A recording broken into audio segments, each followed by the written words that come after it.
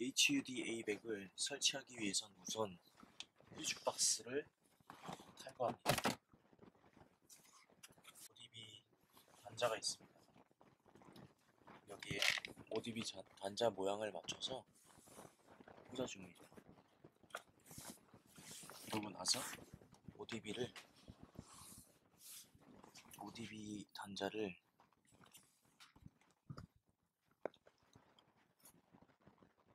HUD와 연결해주면 됩니다.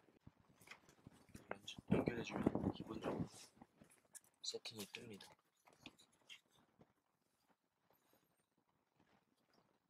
따로 뭐 작업할 건 없고요. 이 상태에서 선만 따서 위치를 잡은 후에 자리를 잡아주면 장착이 됩니다. 기본적으로 이제 키로수가 나오고요.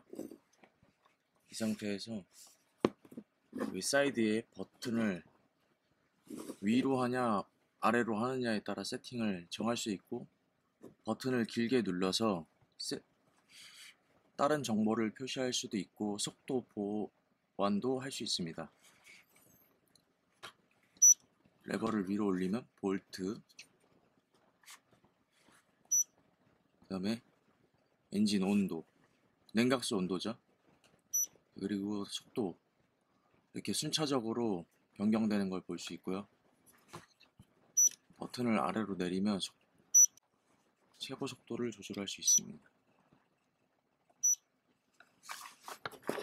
이렇게 해서 선만 정리를 해주면 아주 간단하게 HUD를 설치할 수 있고요. 여기 보면 조도 센서가 있어서 어둡다가 낮에 햇빛이 강하면 이렇게 밝아집니다. 어두운 곳에 가면 다시 어두워지고요.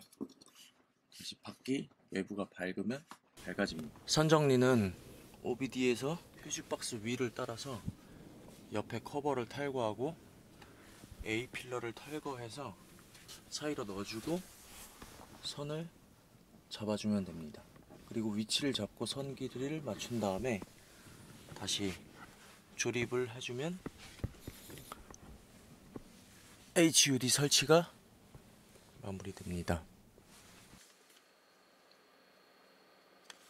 메뉴에 진입을 하면 버전이 표시되고 4번으로 이동을 하면 여기서 속도를 캘리브레이션 할 수 있습니다. 제가 한번 세팅을 맞추긴 했는데 원래 기본은 108로 돼 있다고 설명서에 나와 있습니다. 그래서 이것을 위로 올리던지 내리던지 해서 속도를 주행하면서 얼마나 차이 나는지 확인 후에 맞춰주시면 됩니다.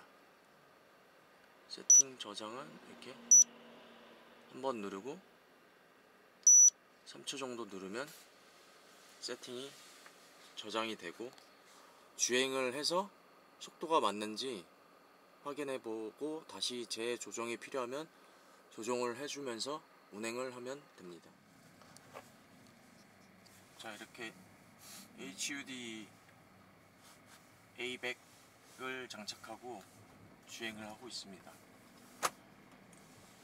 낮이기 때문에 되게 밝은데도 자동 조도 센서가 있어서 이렇게 숫자가 잘 보입니다.